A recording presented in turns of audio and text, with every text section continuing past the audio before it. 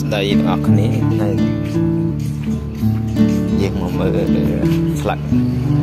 មេអំបៅតែសម្រាប់ពីងឆុងស្លឹកមេអំបៅអស់គ្នា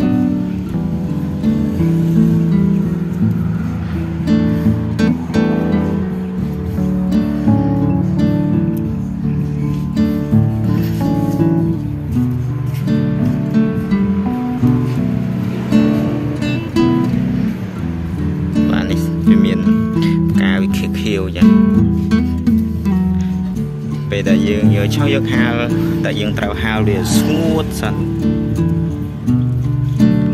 យើងហាលវាស្ងួតនេះស្ងួតបែបនេះ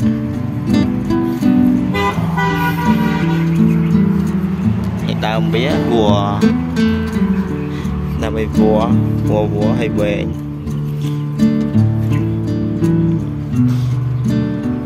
ចេញផ្កាលក្ខណៈ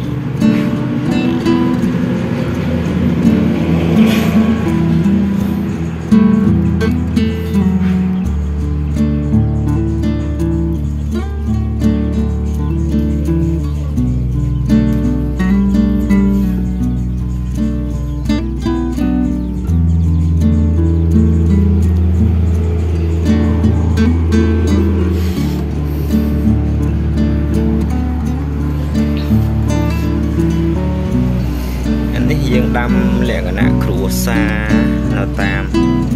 ផ្ទះរបងផ្ទះដើម្បីយើងឆុងហូបម្ដងកាលម្ដងមកកាលអញ្ចឹងពេលឆុងយើងដាក់យើងដាក់ស្លឹកតែមេអំបៅនឹង4 10ផ្កាអញ្ចឹងទៅចូលក្នុងទឹកក្តៅ ទុកវាយូរ3 4ទៅ5នាទីអញ្ចឹងឲ្យវា